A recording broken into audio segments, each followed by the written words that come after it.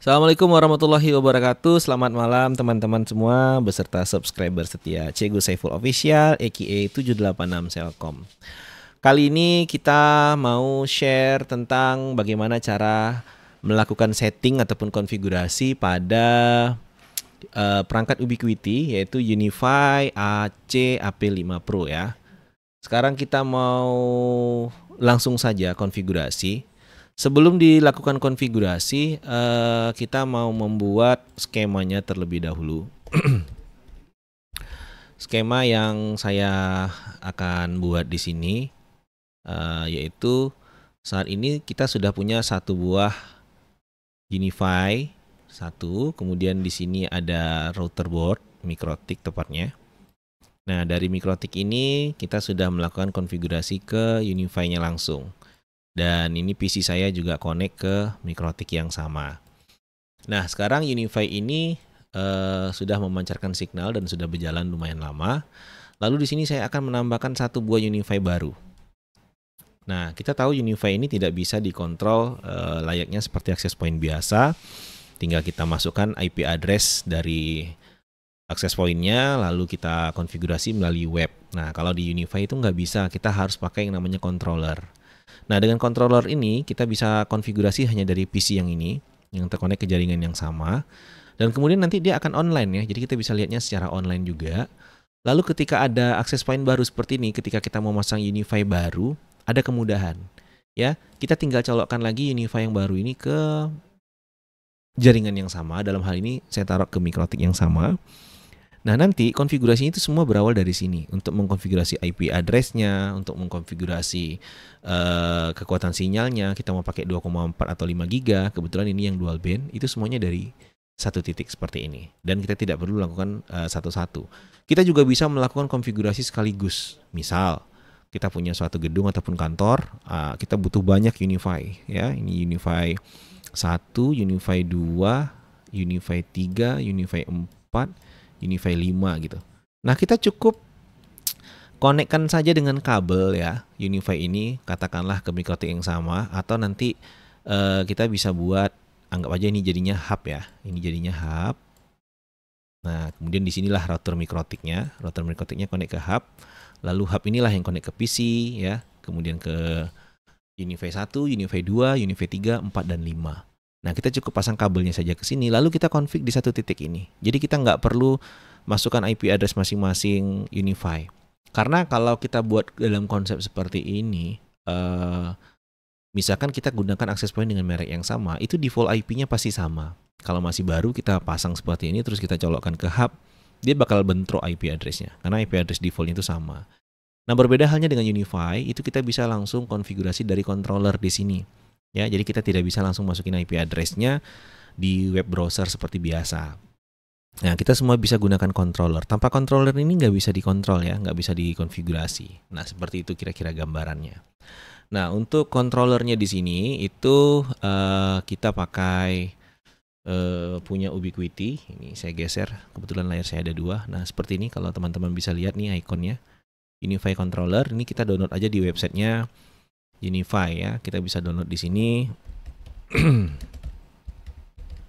Unify controller. Nah, silakan download di sini lalu kita install di komputer kita masing-masing. Nantinya kita tidak hanya di komputer, kita juga bisa konfigurasi melalui uh, smartphone baik itu Android ataupun iOS. Nah, tapi bagusnya kalau saran dari saya kita konfigurasi dengan komputer dulu. Kalau sudah nyaman, sudah oke okay konfigurasinya baru nanti kita konfigurasinya uh, lewat smartphone. Jadi lebih simpel. nah, sekarang kita langsung mulai saja. Ini konfigurasinya sudah jelas ya. Ini hub, ini mikrotik. Boleh nanti mau kita jadikan hotspot ataupun kita bypass aja boleh. Yang jelas skemanya sama. Ini PC kita, ini Unify 1 dan ini Unify 2 dalam hal ini ya. Nah, nanti kelebihannya kalau kita mau pasang banyak Unify, kita tinggal colok aja kabelnya, nggak perlu kita hiraukan reset ataupun kita config satu-satu, nggak. Kita cukup duduk di depan komputer ini, tinggal colok yang baru, config langsung bisa. Nah, dalam Unify ini nama konfigurasinya itu nanti kita namanya adopt. Nah, kita adaptasi ya, kita adopt. Nah, seperti ini. Adaptasi apa adopsi bahasa Indonesia-nya? Yang jelas bahasa Inggrisnya adopt. Ya, sekarang kita langsung buka link dari Unify ini. Aplikasinya kita double klik. dia biasanya langsung akan buka link pada uh, seperti ini kalau dia sudah berhasil dibuka keluar seperti ini nah sorry ya saya pakai dua layar jadi yang masuk ke dalam record screen ini layar yang sebelah kanan layar yang sebelah kiri itu nggak termasuk jadi saya geser. Nah ini Unify controllernya tunggu sampai hijau baru dia bilang di sini Unify Network Application 7376 started. Berarti ini versinya versi yang ini ya pastikan versi yang terbaru biar lebih bagus. Kemudian kita klik launch a browser, launch a browser to manage the network. Jadi kita, kita ketika kita klik dia akan membuka web browser. Nah, dia akan login seperti ini. Kita langsung saja login dan masukin password. Jangan sampai lupa password ini ya, karena Unify ini agak ribet alatnya kalau lupa password.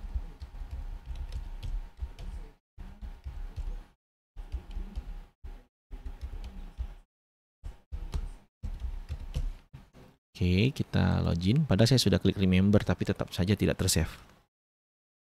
Nah, ternyata salah. Nah, sebentar ya.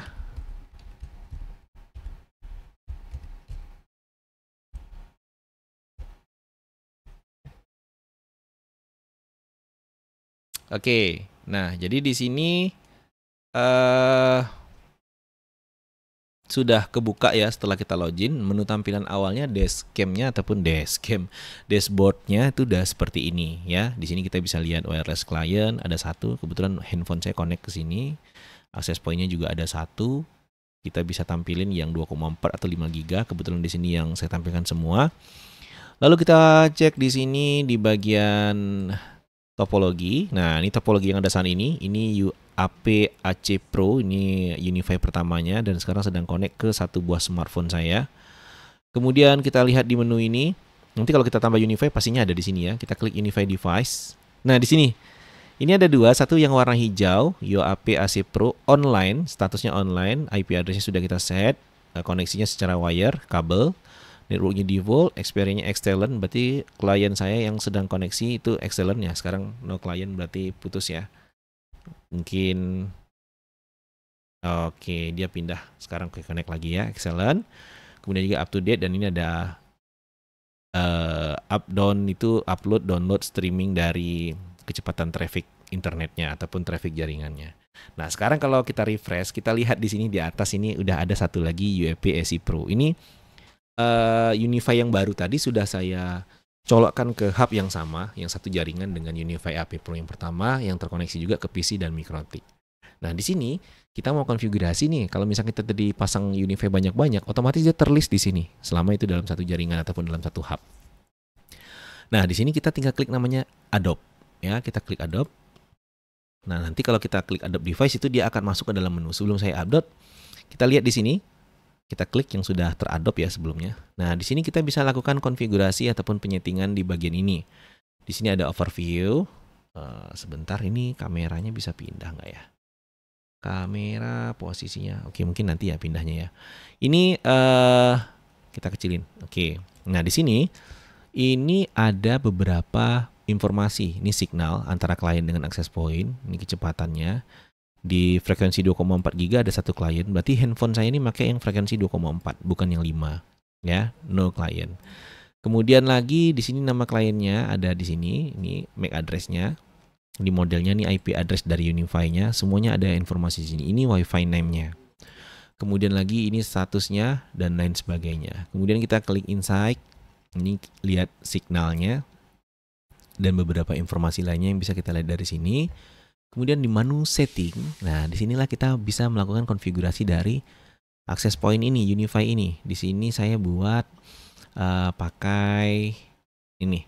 Saya prefer ke 5 GB. Jadi kalau ada perangkat yang support 5 GB, connect kan dia ke 5 GB. Tapi kalau enggak, pindahkan dia di 2,4 GHz. Kemudian untuk IP address saya pilih statik saja. Sebenarnya DHCP boleh, tapi demi supaya mudah memanajemennya saya bikin statik karena nggak banyak juga ya. Di sini Unify 1 tadi saya kasih IP address ini, saya isikan informasi ini supaya Unify ini bisa online. Kalau tidak online nanti status di sininya nih uh, tidak online ya status di sininya nih. Kemudian lagi sudah kita isi semua informasi jaringannya. Nah, ini uh, nama access point itu tidak ada di sini, nama SSID ya. Biasa kalau kita konfigurasi access point itu kan ada SSID. Itu nggak ada di sini. Tapi adanya itu nanti di menu uh, setting, kemudian di menu WiFi. Nah, ini dia namanya. Nah, nanti kalau kita sudah adopt uh, Unify ini, nama ini cukup satu kali aja kita buat. Dia otomatis teradop semua untuk semua nih apa access point. Nah, sekarang kita masuk lagi ke access point tadi, langsung saja kita klik adopt. Jadi kalau teman-teman masih baru ataupun cuma satu uh, Unify, otomatis cuma ada satu dan ada klik to adopt. Pastikan ini terdeteksi baru teman-teman bisa melakukan konfigurasi. Kalau nggak terdeteksi di sini, cek kabel ataupun berada di dalam hub yang sama. Ya, saya klik adopt. Nah, di sini MAC addressnya sekian. Oke, ini MAC-nya saya copy dulu karena ini uh, saya menggunakan hotspot. Nanti kalau kita tidak adopt dia terblok oleh hotspot. Saya mau bypass dia. Dan saya akan konfigurasi IP-nya ini sama seperti temannya tadi. Ya temannya adalah 202 168 222 4 berarti di sini saya buat 5 itu addressnya juga sama. Ini keperluannya untuk hotspot nanti ya supaya lebih mudah semua server dan bypass dan kita kasih nama di sini namanya adalah uh, Unify 2. Ini teman-teman kalau tidak pakai hotspot abaikan aja ya ini di mikrotiknya. Oke, sudah kita binding jadi nanti uh, server tahu bahwa ini adalah Unify 2 jadi dia di bypass. Nah, Unify 1, ini Unify 2. Oke, itu sekilas aja. Nah, sekarang kita tinggal klik adopt device. Tep. Nah, adopting you AP AC Pro. Nah, sekarang sedang di-adopt, prosesnya adopting di sini kalau teman-teman bisa lihat di layar, sedang updating. Dia kalau ada pembaruan dari internet dia otomatis update ya, teman-teman. Kita tunggu proses status updatingnya. Nah, sembari nunggu dia update, nah sekarang statusnya sudah berubah ya, getting ready. Ini berarti dia sudah siap-siap. Setelah update tadi dia restart dan lain sebagainya. Ini kita lihat di sini ada kayak uh, nafas ya berdenyut-denyut. Statusnya masih getting ready. Sekarang kita coba dengar eh dengar kita lihat nanti statusnya. Oke, sudah online ya.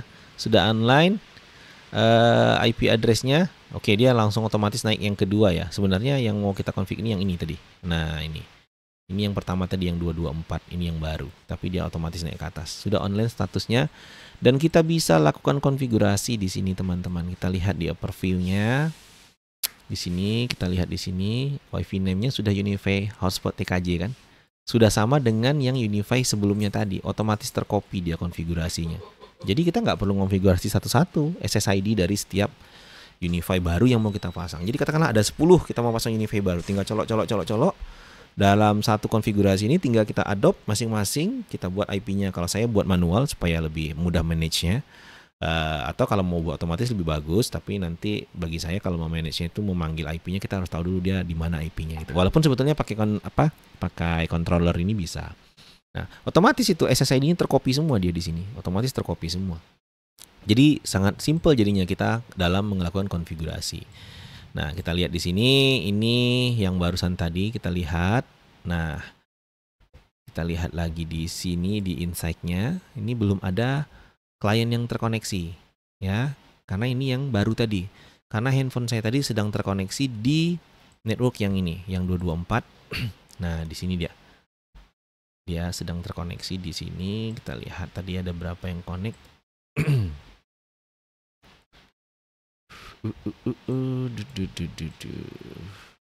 Nah ini dia. Kemudian lagi, nah, oke. Okay. Nah di sini kita bisa lihat historinya ya. Mana-mana saja kayak log ya, kayak log gitu. Kita bisa lihat di sana. Nah kita kembali ke yang Unify Pro ini tadi, yang satu ini. Nah ini GBE berarti belum ada yang terkoneksi. Oh sebentar, ini kliennya juga putus nih saya coba ambil handphone saya, saya coba koneksikan lagi ke situ karena tadi dia restart ya keduanya. Otomatis handphone saya ketika restart dia milih jaringan WiFi yang lain. Nah, sekarang kita coba konekkan. Oke, okay, excellent ya. Dia connect ternyata ke yang baru, yang 2228 karena dia paling dekat di sini nih posisinya di depan saya. Sementara kalau Unify yang satu tadi sudah saya pasang di plafon ya. Jadi agak jauh. Otomatis dia mencari jalur yang paling dekat yang kuat sinyalnya. Dan dia pilih karena nama SSID-nya sama, otomatis dia langsung connect. Nah, itu dia salah satu kelebihannya karena SSID-nya di setting sama, otomatis colok dia langsung punya SSID yang sama. Jadi perangkat yang pernah tercolok otomatis dia jalan terus. Jadi kayak switch gitu. Kalau misalkan kita lagi jalan, katakanlah di suatu gedung atau di hotel, uh, di lantai sini, kemudian nanti di tengah-tengah lantai yang sama, nanti di ujung lantai yang sama, SSID-nya sama. Itu dia kayak kesannya kayak nge-repeat gitu ya. Jadi tinggal pindah-pindah gitu aja karena nama SSID-nya sama.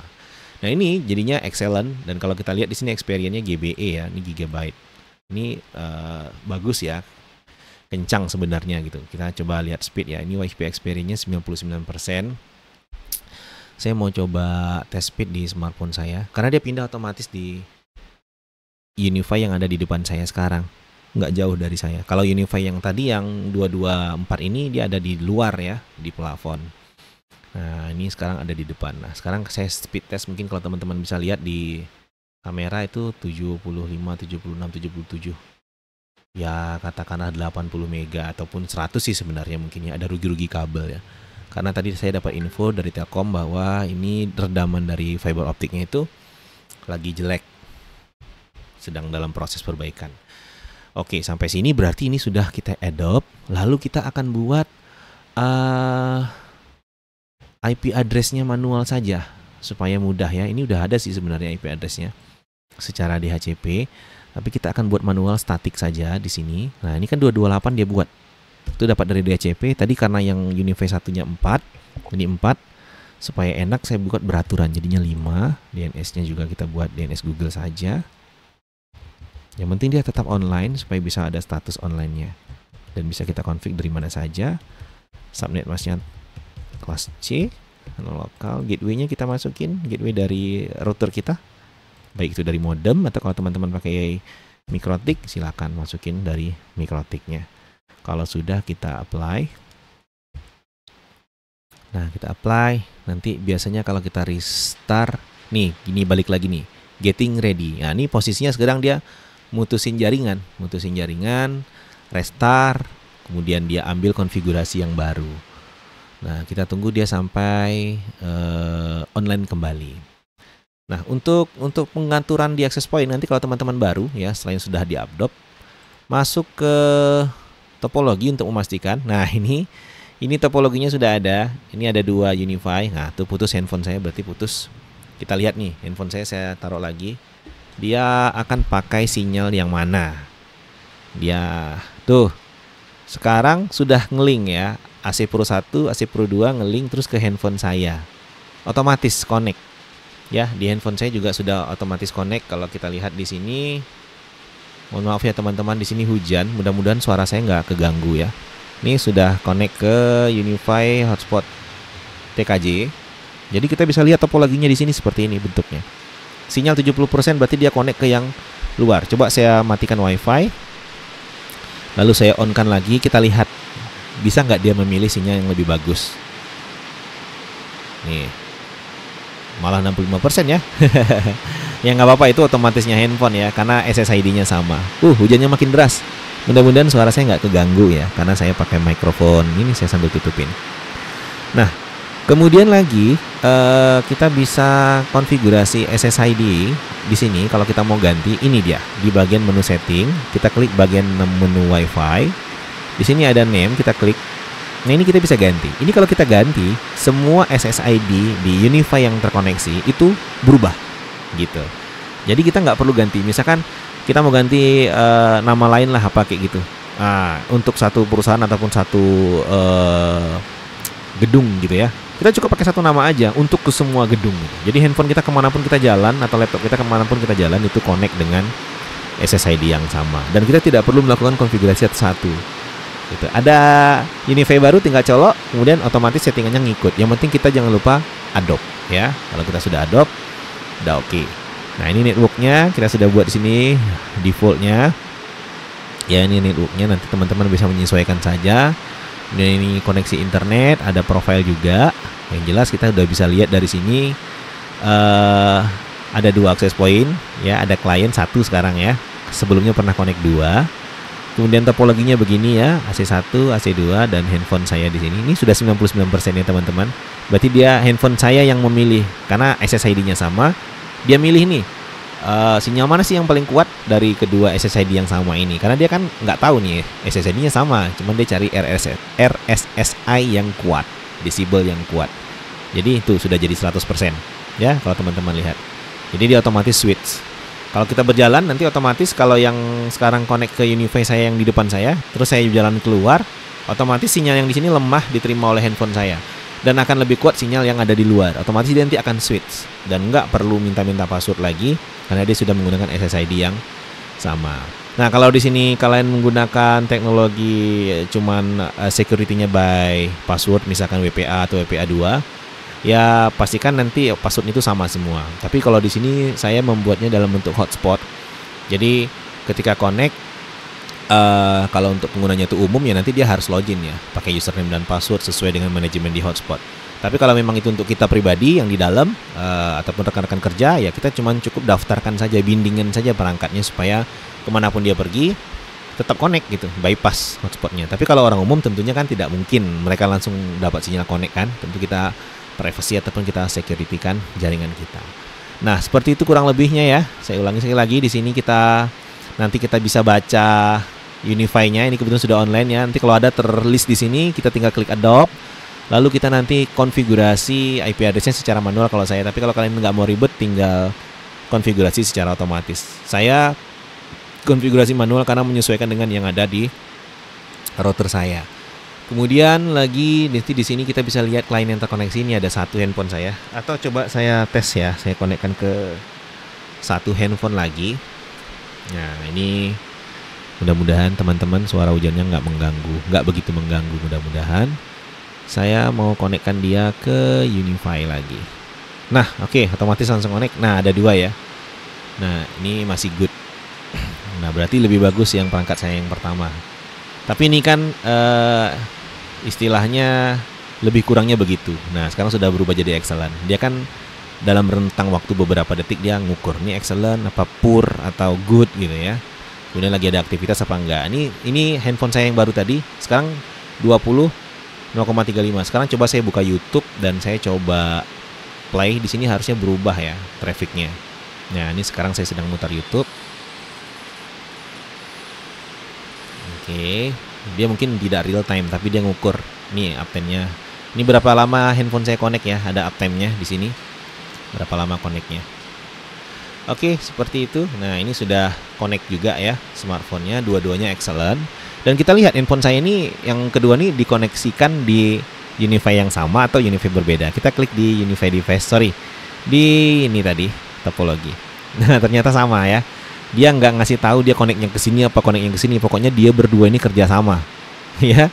Dia nggak ngasih tahu. Oh, ini koneknya ke sini, yang ini koneknya ke sini nggak ngasih tahu. Tapi yang jelas dia ini bekerja sama ya untuk melakukan koneksi ke sini. Nah ini kok putus nih, tar. Kenapa dia bilang dia putus? Oke, okay, uh, handphone saya memilih akses point lain ya karena sudah tersave passwordnya. Nah sekarang saya pilih lagi untuk connect ke Unify lagi. Nah ini sudah connect baru delay ya. Ternyata dia sini agak delay beberapa detik. Oke, kira-kira seperti itu penjelasannya tentang konfigurasi Unify. Jadi sebenarnya awal-awalnya Unify ini apalagi bagi orang awam ribet sekali nyetingnya. Setelahnya kita tahu akses point kita beli, lihat di kotaknya berapa IP address defaultnya, colokkan ke komputer kita yang satu segmen, satu network, kemudian kita buka di web browser IP defaultnya, lalu kita konfigurasi demikian. Uh, kelemahannya yang seperti itu emang setiap kali kita mau menambahkan akses point, katakanlah mereknya sama juga ya, otomatis IP defaultnya juga sama kan. Nah, kemudian juga kita harus melakukan konfigurasi satu-satu per akses pointnya, seperti itu. Nah, kalau Unify ini nggak perlu. Kita cukup punya satu controllernya, kita lakukan konfigurasi setting di controllernya. Tapi ingat Unify jangan sampai lupa password. Walaupun bisa di reset, tapi agak ribet. Kemudian lagi uh, ketika kita sudah colok-colok-colok beberapa Unify-nya, kita tinggal kalau IP address yang mau dibuat manual supaya mudah manage-nya tinggal buat. Kalau tidak, ya tinggal bikin di HCP, sesimpel itu. Lalu kita tinggal adopt dan konfigurasi di sana. Otomatis semua settingan yang sudah kita buat di controllernya itu tercopy ke semua perangkatnya. Jadi kalau kita mau masang 10 akses point sekaligus bisa. Nah, jadi simpelnya gini, katakanlah kita mau masang di gedung kan uh, banyak tuh tempatnya kan posisinya banyak. Karena instalasi itu yang paling lama adalah pengkabelan. Kita tarik kabel itu yang paling lama. Gampang, di satu komputer kita seperti ini, ketika kita dapat 10 Unify, dudukkan aja dulu di sini. Masukkan dia ke hub 16 port kan. colokkan ke satu hub yang sama, buka controllernya, setting semuanya di sini. Terret. Sudah jelas uh, settingnya semua kan sebentar. Baru nanti fokus ke penarikan kabel di mana mau ditaruh. Tinggal colok, sudah langsung done. Nah, sesimpel itu sebenarnya. Cuman ya yang nggak simpel itu adalah harga dari Unify ini memang tergolong mahal dan dia lebih tangguh dalam hal ini yang sudah pernah saya coba secara pribadi kebetulan saya gunakan ini di beberapa tempat klien customer dan juga termasuk di sekolahan. Uh, dia support dengan user yang cukup banyak. Tapi kalau teman-teman pakai akses point yang biasa pakai antena 2 yang katakanlah harganya sekitar 300-an ribu itu atau 400-an ribu itu dia nggak bisa support banyak user. Paling-paling dia dapat 5 user 10 user itu udah bengek ya. Bengek. Maksudnya udah nggak stabil jaringannya. Ada yang terputus sendiri ada yang tiba-tiba jadi lelet ataupun lemot seperti itu. Uh, kalau yang Unify ini support banyak. Karena dia memang banyak uh, supportnya itu uh, sesuai dengan uh, di sini kita coba cek websitenya ya. Ini sekedar share aja teman-teman. Bukan bermaksud mengajari hanya sekedar share. Jadi ada beberapa perangkat itu yang memiliki fitur ataupun memiliki kemampuan sesuai dengan harganya emang. Oh, saya lupa websitenya ya. Kalau nggak salah saya di Ubiquiti ya, atau di Unify langsung coba. Nah kayak gini, misalkan katakanlah saya pilih yang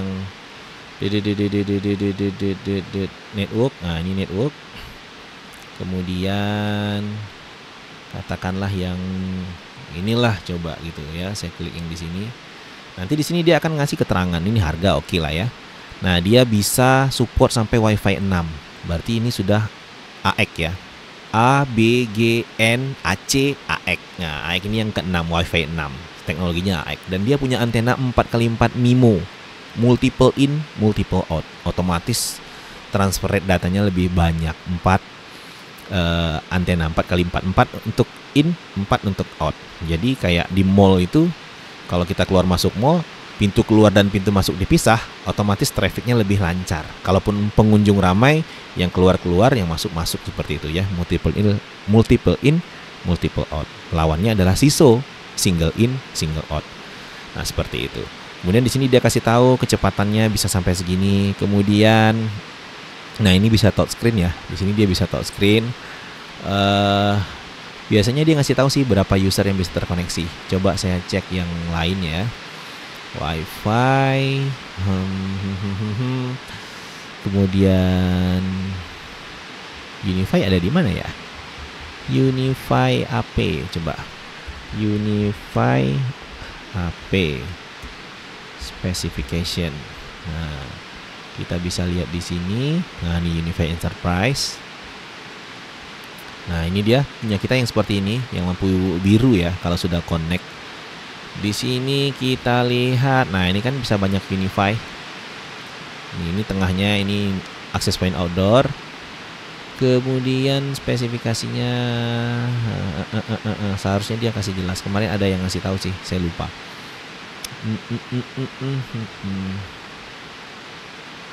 Hmm, di sini wifi wifi. Wifi standar.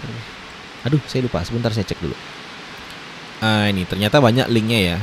Yang paling simpel ternyata ui.com ya ubiquiti.com nih yang flagshipnya ini ternyata termasuk kategori access point yang flagship. Wajar aja harganya mahal ya. Harganya sekitar 3 jutaan.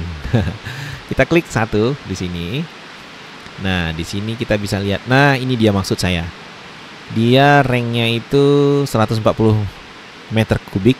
Eh meter persegi apa kubik ya? Mohon maaf kalau salah di persori ya. M kuadrat meter kuadrat lah yang jelas supaya tidak salah ya. Kemudian dia bisa sampai 600 lebih connected device. Tapi ini sih secara teori ya. Kalau gampangnya menurut saya misalkan dia bilang 600 bagi dua aja langsung. Berarti 300 connected device bisa dia support. Nah kalau akses pointnya saya bilang yang 300an ribu tadi sudah sering kali dicoba itu 5 klien 10 klien maksimal itu udah lemot dia, udah susah dia. Bukan jaringan internetnya, akses poinnya melayani klien itu yang susah. Dia sudah WiFi 6. Berarti kalau handphone ataupun smartphone kalian ataupun uh, laptop itu support di WiFi 6 ataupun AX teknologinya itu sudah bisa connect ke sini dengan teknologi yang lebih besar. Harusnya tadi handphone saya sudah support loh yang WiFi 6, tapi kenapa dia tidak? ya di sini harusnya dia sudah support ke WiFi 6 tapi kenapa dia koneknya ke uh, ini 2 giga apa oh ya udah 5 giga dong yang ini handphone saya yang satunya konek yang ke channel 5 GHz berarti udah pakai yang WiFi 6 juga bener Oke ya, jadi dia sudah support yang WiFi 6 tergantung perangkatnya, tapi dia sudah mensupport. Nah itu yang saya maksud tadi.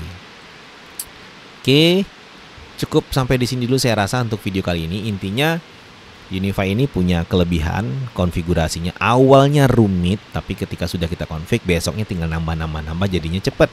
Kekurangannya mungkin kurang murah, agak mahal dan dia punya kemampuan men-share dan connect uh, klien yang bisa connect ke dirinya tuh lumayan banyak. Seperti itu. Itu saja. Mudah-mudahan video ini bermanfaat. Saya tidak bermaksud menggurui. Semoga hmm, bisa bermanfaat bagi teman-teman. Nah, mungkin kalau videonya kepanjangan, ya dikat sajalah. Tapi intinya konfigurasinya itu kita masukkan dia dalam satu jaringan, kemudian kita download installer, bukan installer, controllernya kita konfigurasi, bikin akun dulu ya, akun di Ubiquiti-nya. Akun jangan sampai lupa. Kemudian perangkat yang baru, kita tinggal colok, kita config melalui controllernya. Konfliknya seperti yang saya bilang tadi, di menu ini banyak ya. Kita bisa cek nih networknya kalau sudah connect terus ini device-nya apa aja kita klik lalu di sini kita bisa setting ya kita config ini untuk IP address kalau untuk config umumnya itu di sini kita buat di WiFi itu nama WiFi-nya di sini kita bisa buat apa saja nanti dia otomatis tercopy ke semua access point itu saja terima kasih saya Cegu Saiful AKA 786 Telkom 786 Telkom mengucapkan terima kasih sudah menonton video ini sampai habis. Wabillahi taufiq wal hidayah, semoga bermanfaat. Wassalamualaikum warahmatullahi wabarakatuh.